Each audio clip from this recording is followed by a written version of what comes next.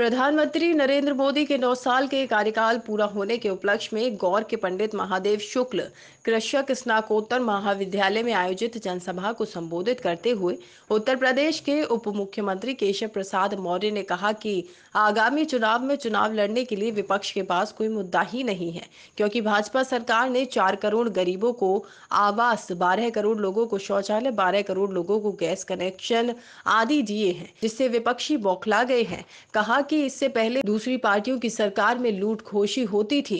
गरीबों को मिलने वाले पैसे में कमीशन लिया जाता था। वही मोदी सरकार ने 50 करोड़ गरीबों का खाता खोलकर सभी योजनाओं का पैसा सीधे उनके खाते में भेज दिए। कहा कि अब देश व प्रदेश की जनता जागरूक हो गई है। उन्हें पता है कि अगर सपा को ऑक्सीजन देंगे तो गुंडों का राज हो जाएगा। बसपा का साथ देंगे तो कांग्रेस की बैसाखी बन जाएगी।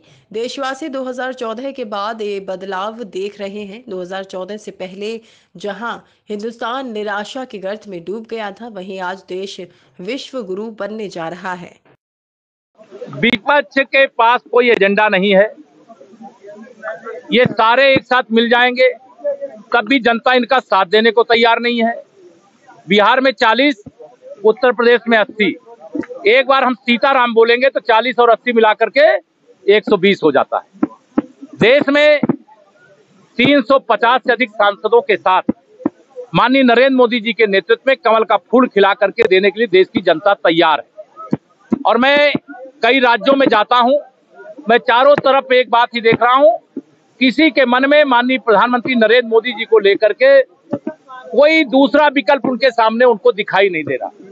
इसलिए नौ वर्ष सरकार के पूरे होने पर लोकसभा क्षेत्र बस्ती में हमारे सांसद हरीश जी, हमारे प्रभारी मंत्री जी, हमारे खन्ना जी, कई सब वरिष्ठ नेतागण आए, आपने सबको सुना है।